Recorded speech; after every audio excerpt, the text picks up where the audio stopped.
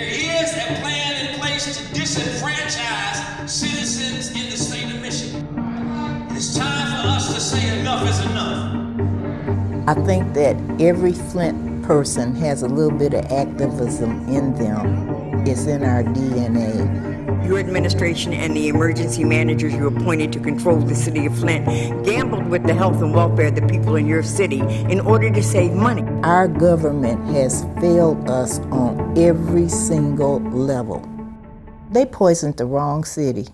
Hundreds packed a hall at Ferris State University to sound off on a permit request from bottled water giant Nestle. People's voices must be heard. The issue is that they are privatizing water. They're taking water and they're selling it for a profit. When there are people going without water. Water is the new oil. Nestle's not just a water bottling company, it's a water privatizing company. There are some things by their very nature are public. And when you try to run those as a private operation, you end up with bad results.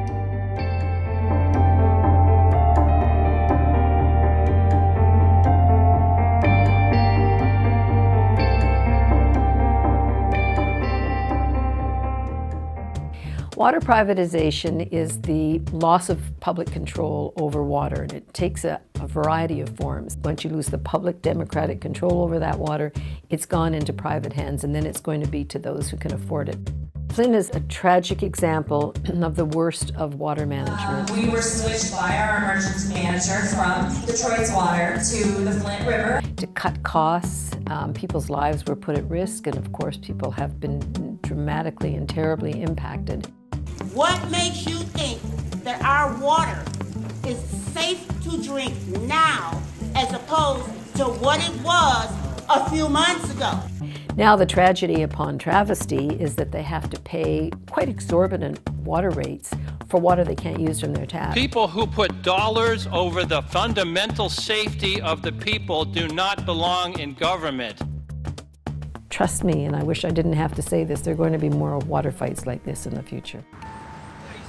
Today is day 1,252 since we've had clean water. April 25th, 2014, they switched our water from the safe Detroit source that we were on to the toxic Flint River. One day I started filling up the tub, it was around February of 2015, and it started turning blue-green, and it hasn't stopped. Even though we are 45% at the poverty line, we pay the highest rates in the United States. We pay eight times the national average for water that we can't use. It's not like we want bottled water. Nobody wants to live like this. I've been mid-recipe before and run out of bottled water, and I'm not going to put tap water in there. We have to make sure that we have enough water, and if not, then we have between noon and 6 to rush over to one of the water pods to get in line to pick up our rations, our cases of water to use for everyday everything.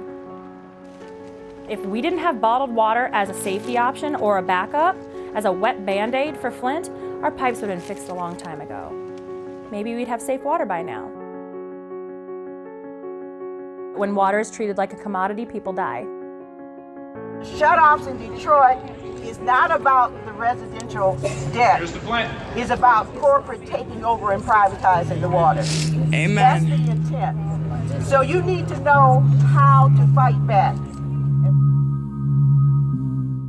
What I worry about long term, and I've seen this in other parts of the world, is that people say, I don't trust the tap water. I don't know that I ever will again. So even when the tap water is safe at a future time, then I don't want to put tax money into good, clean, safe public water. So who ends up winning in this thing? The private water companies that get to come in and set a huge price for their private water. So Nestle is the biggest bottled water company in the world. It represents many uh, bottled water companies, and its tentacles are everywhere, and it creates massive amounts of pollution and plastic and so on, privatizes water wherever it goes. It's very much part of the agenda of privatization and deregulation that so many of our governments are picking up. And basically it says, trust these corporations, they'll set the tone, they'll monitor things, they'll do all the right things environmentally and so on. And so you're leaving it to the private companies like Nestle to make policy around our lives.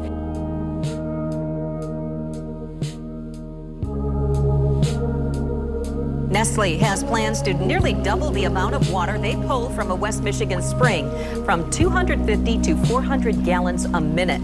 The water is being drawn from a well in Evart. The company behind the Ice Mountain Water brand says it won't hurt the environment, but some fear the impact could cause major problems down the road.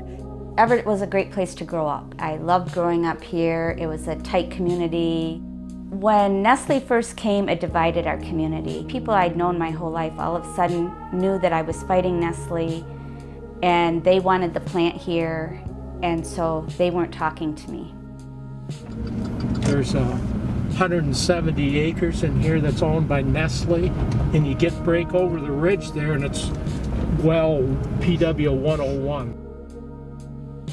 In the fall of 2000, a Nestle Corporation announced that they were coming into the area and start drawing water. So the question was, how is their operation going to affect the, the, the wells in the vicinity and the surrounding bodies of water? So I started the investigation in, into that. Well, Jim, this has got to be the deepest part of this. There's four inches of water. There's no trout. There's no other fish. There's no crayfish, no signs of any aquatic life. So in effect, Nestle has reduced the flow of water to these streams and in effect has destroyed what was once an ecological wonder is no longer there. How can you trust Nestle when they come up and tell you what a wonderful organization they are and they're not hurting the environment when in fact we're finding out they just killed two trout streams. So we ended up with transport station. We're losing our water. We, some people say, oh, but we got new ball diamonds and a few new things. Okay, things we already had. I think there's more people now that feel that they were taken in and they should have, we should have stood up to them in the beginning. We don't have anything against business. Water is not a commodity for sale. It is a sustainable force for life. I think it's immoral. And I think of all the people that made this town generation after generation.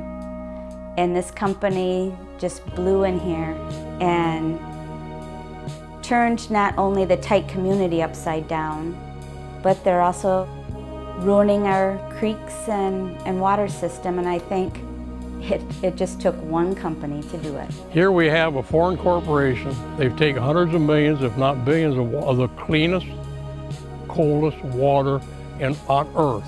And they pay absolutely nothing for it. And then they're profiting, making, it's been estimated, a half a million dollars to a million and a half dollars every day.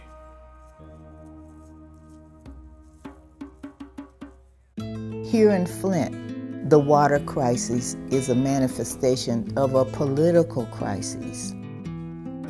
We have a water bill problem, we have a toxic water problem, and we have a democracy problem. This has been a pretext to come in and steal our assets and hand them off to corporate interests. And if we don't step up and take action, years from now, we're going to be looking at Lake Michigan Inc., Lake Superior Ltd., Lake Ontario Corp. We're not interested in that. families to stay in a contaminated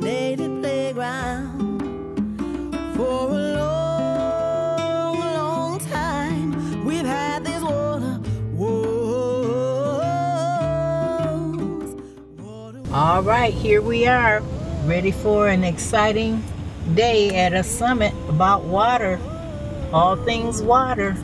Is this how it had to be to gentrify our city? Must the poor I bring you greetings from the poison and occupied city of Flint, Michigan. If we don't do anything today, we hope we can prove to you that the Flint water crisis is alive and well. It has not gone away.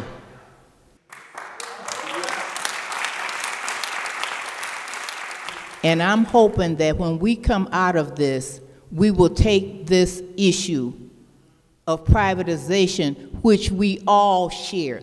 Everybody didn't get poisoned, but everybody can be taken over.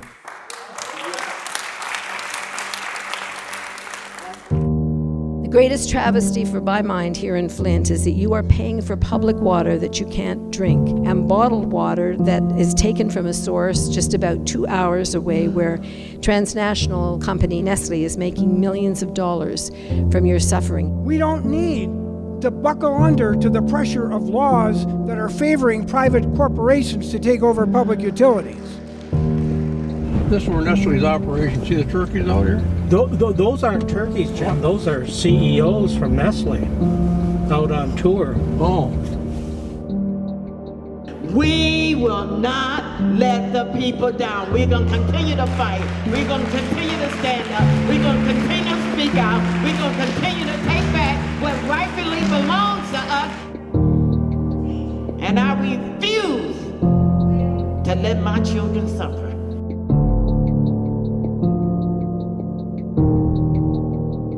Does make a difference when people make their voices heard.